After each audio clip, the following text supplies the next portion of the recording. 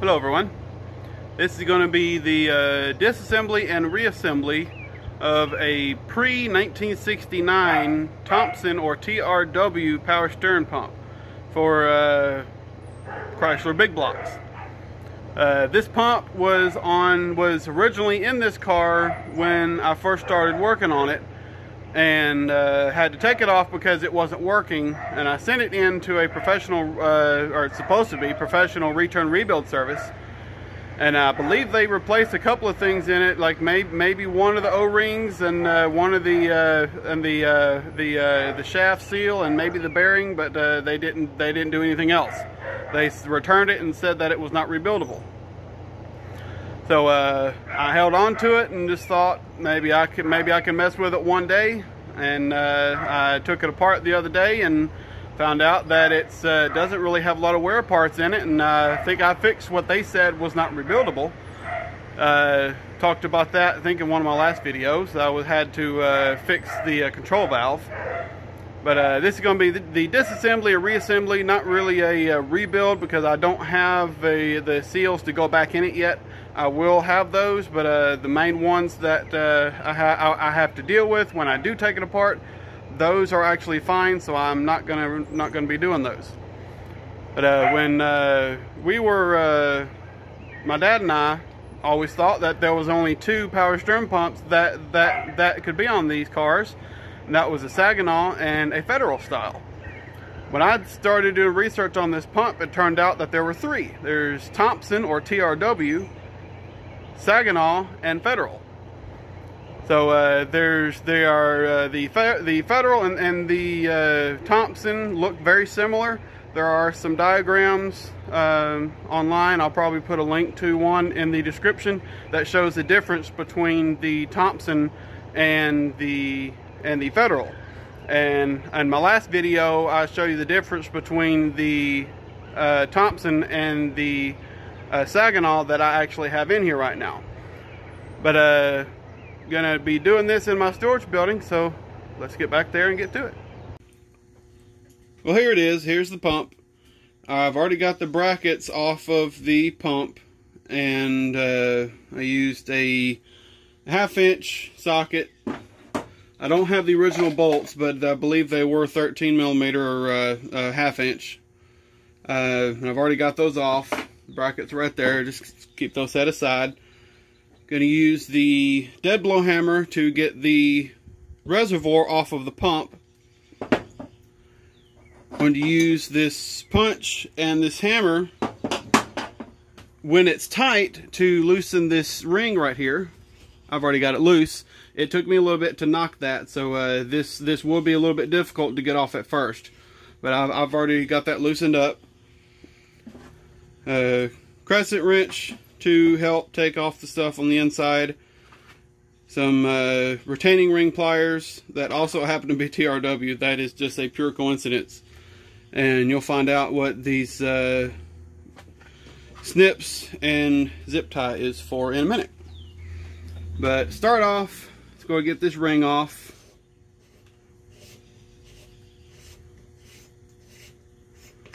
It's always good to clean up everything really good before it's going back for the final time. I don't have the O-rings uh, to finish the inside, but uh, I only need a couple, and I, and I don't have to dis I don't have to completely disassemble the pump to do that. But uh, let me get some of these tools set aside, and we'll uh, get that uh, case taken off. And you want a rubber mallet because you don't want to you don't want to damage the metal around this around the around this rim too much. See if I can zoom in a little bit. There you go. And I have had this off a few times. So mine might be coming off a little bit easier than yours might.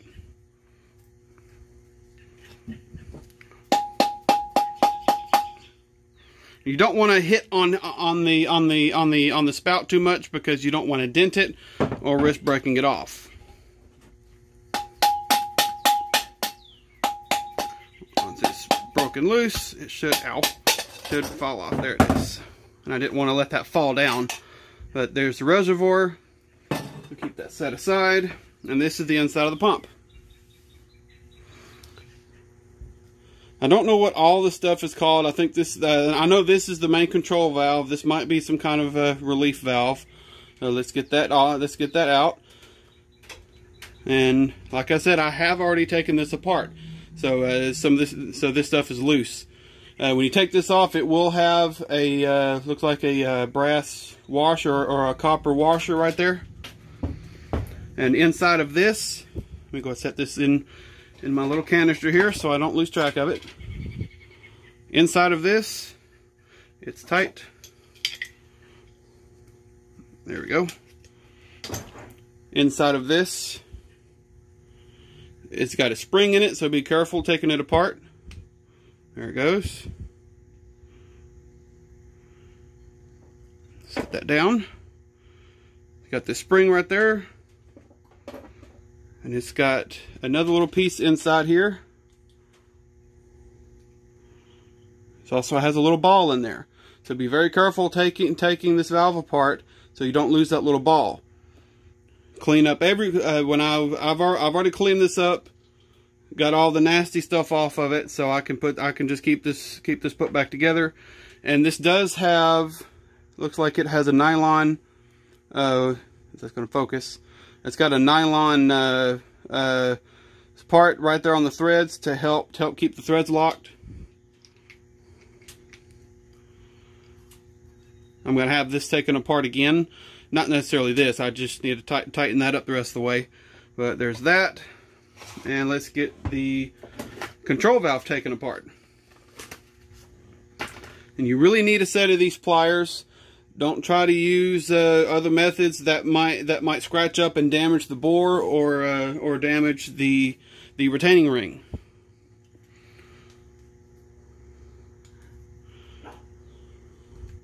Gonna get that lined up.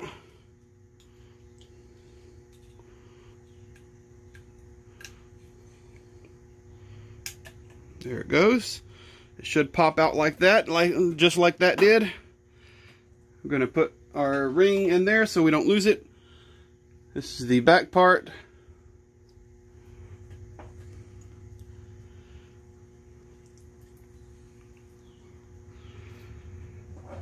Maybe you can use the retaining the retaining ring pliers to go in like that and spread them to pull it out.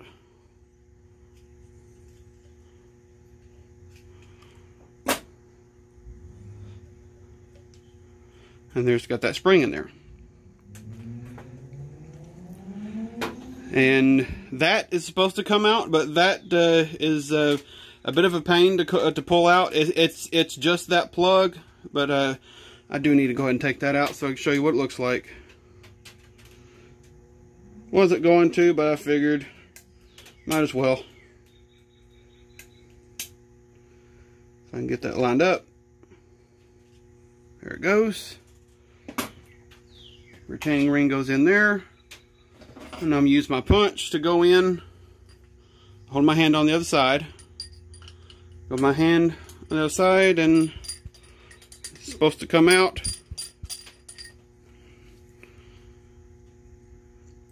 This is this valve has uh, not been taken care of. There it goes. Just had to gently tap it it's got that little O-ring on there. That's an O-ring that I need to replace. And then there's the valve. It's a really simple valve. See if I can't zoom in on that. Give me one second. Right there. There's the valve. That, that's how it goes.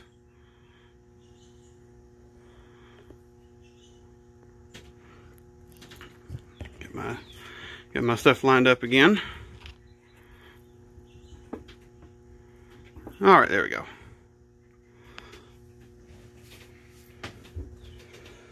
We're going to put this in here so we don't lose anything. Now, I'm going to, uh, let me see if I have anything I can rest this on. I don't think I do we need to get this part right here out. I don't I don't know really I don't really know what it's called, but it's uh, this whole part right here comes out. This right here is an is a seal. I believe the return rebuild service I sent this into a long time ago did replace that because this is did before I sprayed that uh, metal protect on it.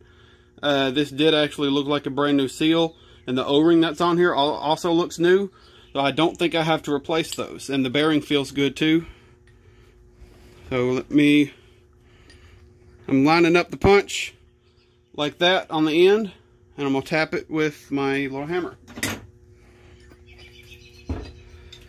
I need to find find something to set this on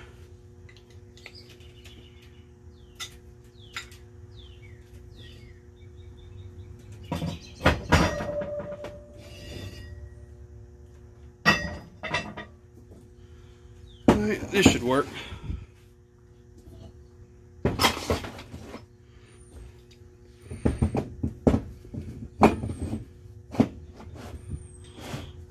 And y'all can see that. That's good.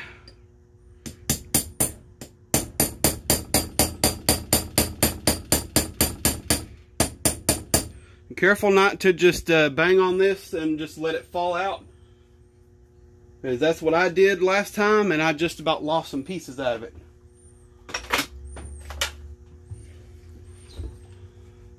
And I set a rag down there, try to catch it. Oh, rubber mallet should be fine too, but a little bit. There it goes, it's cut falling out.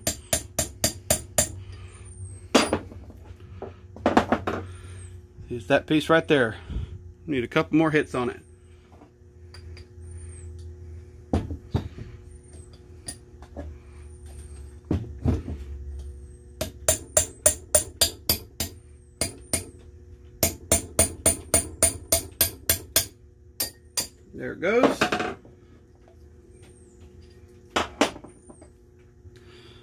goes. This can slide off.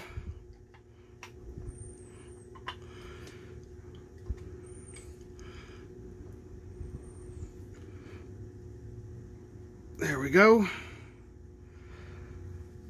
I don't want to pull the shaft all the way out yet, so that's why I'm doing this. There we go. And inside of here, there's a needle bearing. So when you're taking it apart, be very careful. If the bearing's in good condition, I wouldn't worry about replacing it. But if uh, the bearing's in, in bad shape, you got a little bit of slop, I would definitely definitely replace it. But this one, this one feels good. And like I said, I believe the return rebuild service did actually replace that O-ring and the oil seal right here on the front. So I don't so I don't have to worry about that. When replacing these, I would go in from the back or figure out a way to uh, to uh, pry out the bad seal and then knock out the old bearing from the backside. And I would highly suggest if you are replacing that bearing to use some kind of arbor press or a press like like what I have um, to replace that bearing because those needle bearings can be easily the casing can easily be damaged. So uh, I would highly suggest using some kind of arbor press uh, if you have it, or a press. But if you but if you but if you don't have all that, uh, just be very gentle with the hammer, and you should be able to get it in. But uh, there's that. I don't have to do anything with that, so let's set that aside. And this is the inside of the pump. This was very fascinating. Got a little spring I need to reset in there, but it just has metal fins in there to make this thing work. And let me just pull that out. I can reset everything later. Okay. These springs are held in because they go in one way on this shaft. Trying to figure out the way on this one. And they kind of lock in.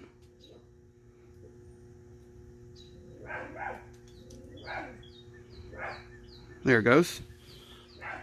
It locks in. There's four fins and eight springs. So we're going to set that aside. Going to put that back together in a second. And these are the fins. I would just inspect these, make sure they don't they don't have uh, too much heavy wear. These actually, I believe these actually look fine. And that's and that's the inside of the pump disassembled. That's it. There is a sleeve right here that is knocked in and cannot come out. But um, I have found a diagram that actually shows this to be a separate piece from the body of the pump. So uh, this, I believe, is a separate piece, but uh, it's not removable. So if yours comes out, there might be something wrong with your pump. But uh, there's that, and there's the bushing back here. This bushing actually looks still good. It doesn't. It doesn't have any slop in it, so I don't have to worry about that. And that's the disassembly.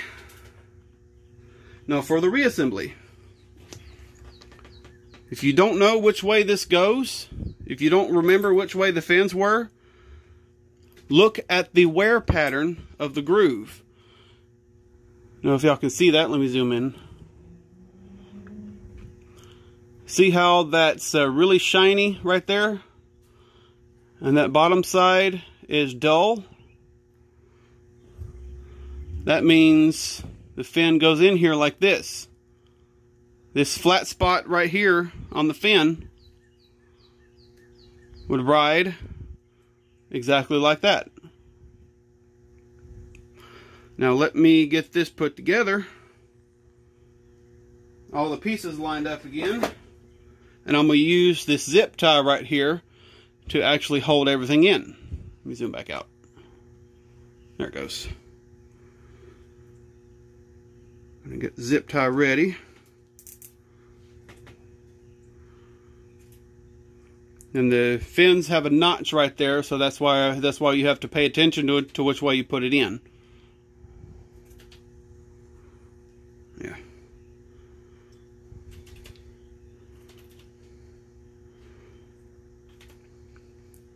So once you have one lined up the rest of them are going to line up easy. It does take a little bit of patience doing this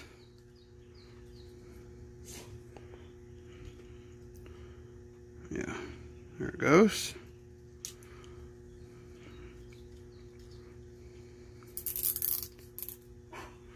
And there it is. That's why I use a zip tie to hold everything together to make putting it back to putting it back in very easy. Now we're going to use the snips to cut off the extra because that's going to be in the way.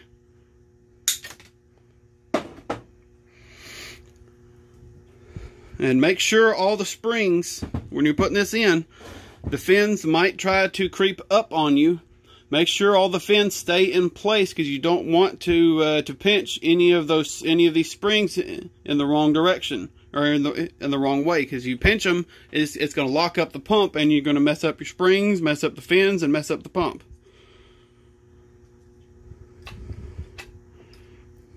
See that tried to pull up I'll do have to just try to push it in. Making sure all those fins are pushed down along with it.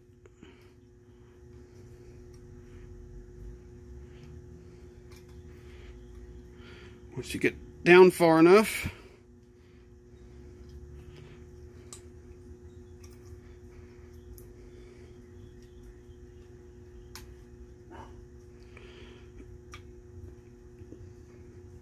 It's a tedious process, but once you get it down, there it goes. That goes in. That's in. Now let me see if I can have find get some pliers in here if I have any, and see if I can rotate this. I might not have any pliers in here.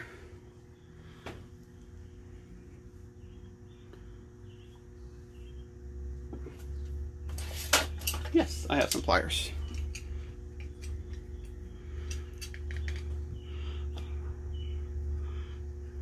What I'm doing is rotating it, make sure none of the springs are in a bind. And they're all rotating beautifully. Nothing binding up. Okay, that's good. All right. Now we're going to put this back in.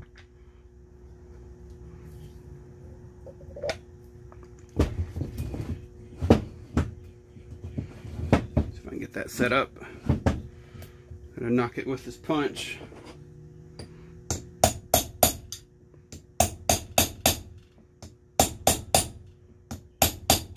You could also use a very big socket, but I just forgot to grab one.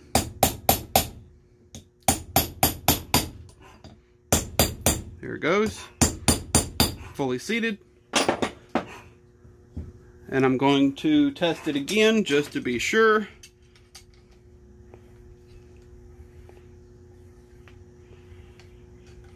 Everything feels good. Nice and smooth.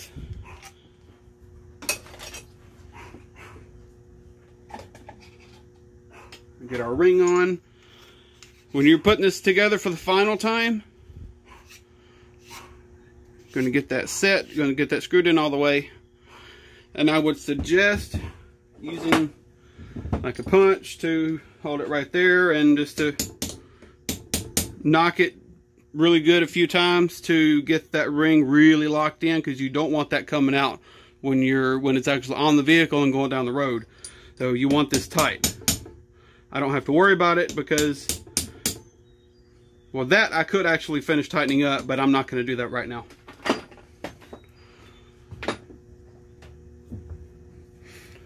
All right, let's get that put back right there.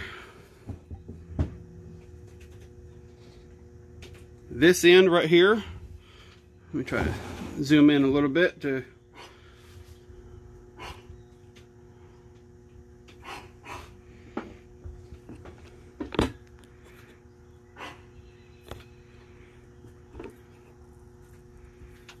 All right, there we go. Going to put this piece in right here.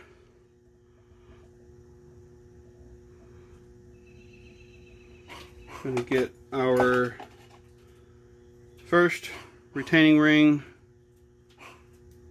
in on this side. Get it in the groove.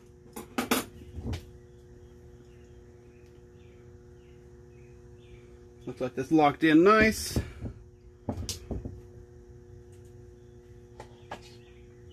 And put that in right there.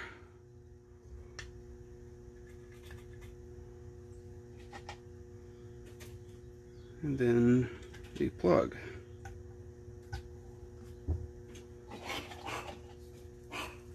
Sorry if my hand's in the way, trying to get everything put trying to get everything held in.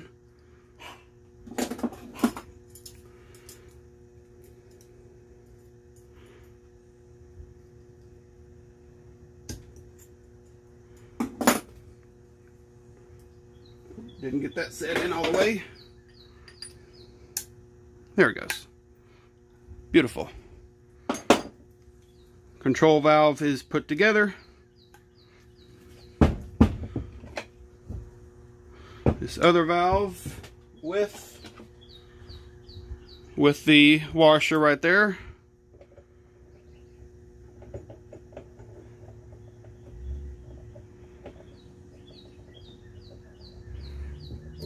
get that screwed in. There it goes.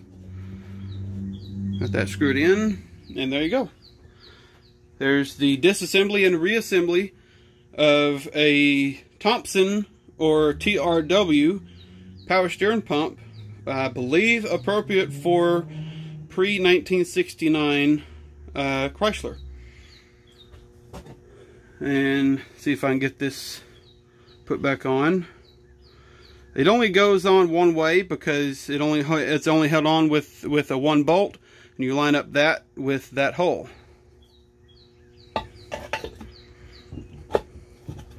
What you can do to help is thread in. You can find the hole. Oh, it's not lined up. There you go. Thread in one of the one of the uh, one of the bolts in the back of the pump and you can set it down.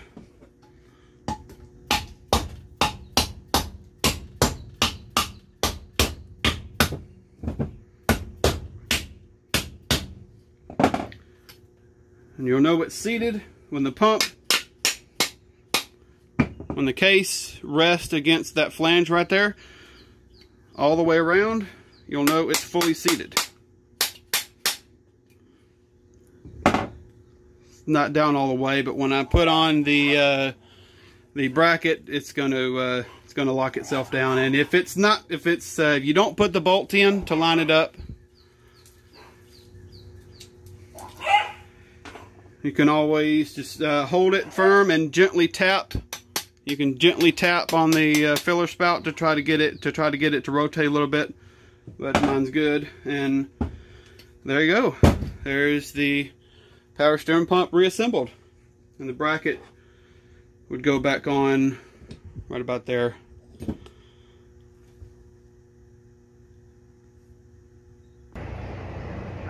Well there it is. The uh, disassembly and reassembly. That pump is a very very simple pump. You just have to put stuff back in the right order so it so it actually works right. But uh, there it is, and uh, I don't have the uh, the uh, pulley or the reservoir sandblasted or painted yet, but uh, those that will be done before that pump goes back on this car. And I will have a video for that, uh, testing it out, seeing seeing if it actually works. But there it is, and I'll see y'all later.